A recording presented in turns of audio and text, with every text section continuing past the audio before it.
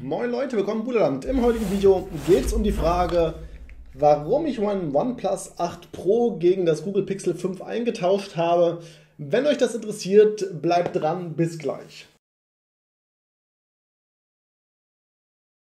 Wenn man sich mal die nackten Fakten anschaut von diesen beiden Smartphones, äh, kann man es eigentlich überhaupt nicht nachvollziehen. Ne? Ich meine, rein von der Hardware und vom Papier her ist das OnePlus 8 Pro eigentlich in allen Belangen besser als das Pixel 5. Ja, ähm, sei es was das größere Display angeht, der Akku ist größer, da ist ein Snapdragon 865 drin, hier ist nur der 765 drin, hier ist mehr RAM drin, mehr Speicherplatz. Also wie gesagt, auf dem Papier ist das OnePlus 8 Pro eigentlich besser. Äh, dazu muss man verstehen, äh, ich habe ursprünglich das 8 Pro mir geholt, nachdem ich vorher das 7T hatte. Äh, einfach weil ich den Zoom nutzen wollte, nur um dann festzustellen, okay, eigentlich benutze ich ihn doch nicht so sehr und für, für meine Videoaufnahmen taugt das auch nicht so wirklich.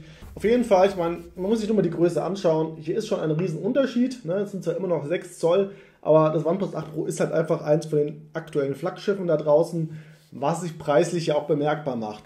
Ich meine, ich habe das da vor ein paar Monaten noch für 830 im Angebot bei, bei Amazon gekauft.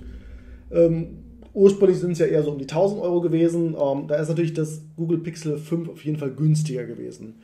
Ähm, jetzt ist trotzdem die Frage, was hat mich bewegt, das Smartphone zu wechseln? Und ähm, fangen vielleicht mal erstmal so, ich meine, ich sage gleich, das sind alles sehr subjektive Themen. Aber das erste Thema, was mich total an dem 8 Pro gestört hatte, was ich beim 7T noch gut fand, sind diese Ränder. Ne? Also, ich meine, das ist halt das Problem mit diesen ganzen Curved Displays und so. Und das mag ich überhaupt nicht. Das erste Smartphone, das ich hatte, war damals das Samsung Galaxy S8. Das war so das erste Smartphone mit diesen Curved Displays, was ich hatte. Und oh, es hat mich wahnsinnig gemacht. Und auch heute ist es immer noch so, ich sehe da keinen Mehrwert drin. Auf dem Papier sieht das Display größer aus, aber eigentlich hat man eher Probleme damit, als dass es wirklich einen Mehrwert bringt.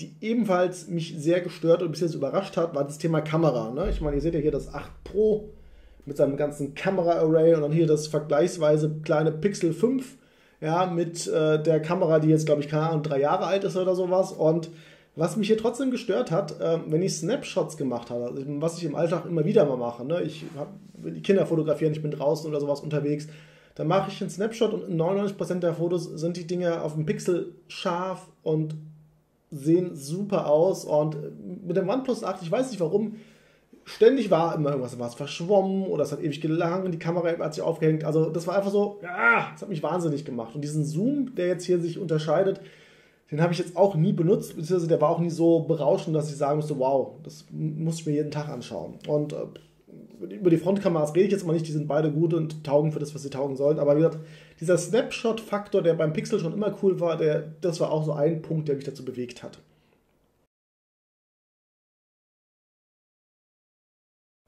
Ein weiteres Thema ist natürlich auch der Formfaktor. Ich bin ja immer ein Freund von kleinen Smartphones gewesen und äh, das Pixel 5 ist halt echt selbst mit Hülle immer noch spürbar leichter und händlicher als das OnePlus 8 Pro.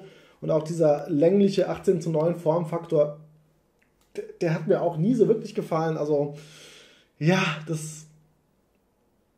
Wie gesagt, es ist ein subjektives Thema, aber ich bin immer erfreut. Also, ich habe auch ein iPhone 11 gehabt, statt ein iPhone 11 Pro Max oder irgend sowas. Ne? Also, das, da, ich bin immer ein Freund von kleinen Smartphones gewesen.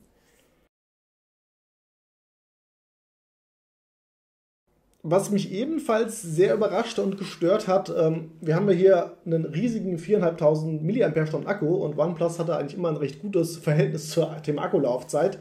Äh, ich muss sagen, mit dem OnePlus 8 Pro hatte ich ständig immer irgendwelche Akkuprobleme, warum auch immer. Also ich bin zwar über einen Tag gekommen, aber manchmal wurde es auch knapp. Keine Ahnung, woran das lag. Mit dem Pixel 5 überraschenderweise, ich meine, Akkuleistung war ja noch nie die Stärke von Pixel-Smartphones, aber seitdem ich jetzt das Pixel 5 habe, Bombe, ein, zwei Tage, überhaupt kein Thema, ja. Und ich weiß nicht, woher das kommt. Natürlich kann man jetzt sagen, ja, wir haben noch das tolle Dash Charging oder Ultra Speed Car, wie auch immer das bei, bei OnePlus heißt, Charging. Ähm, aber das will ich eigentlich gar nicht. Ich will, wenn ich in Ruhe zu Hause bin, möchte ich das Ding abends aufladen und ansonsten möchte ich zwischen dem Tag nicht aufladen. Ne? Das hat mich schon bei der Fossil Carla genervt, dass man nach einem halben Tag immer die Smartwatch aufladen muss. Und das wollte ich beim Smartphone auch nicht machen.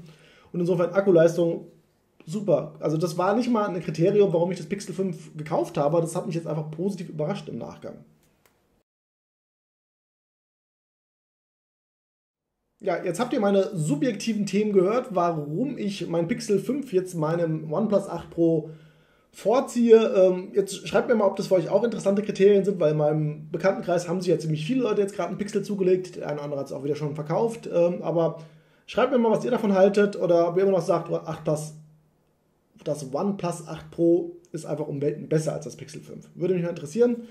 Äh, damit bin ich jetzt auch schon fertig. Das war jetzt einfach nur so ein kurzer Vlog, wo ich mal dieses Thema kurz adressieren wollte. Ihr seht, Hardware ist nicht alles und äh, auch Größe ist nicht alles. Jedenfalls in Sachen Smartphones. Ja. In dem Sinne wünsche ich euch jetzt noch ein schönes Wochenende. Macht's gut. Ciao, ciao.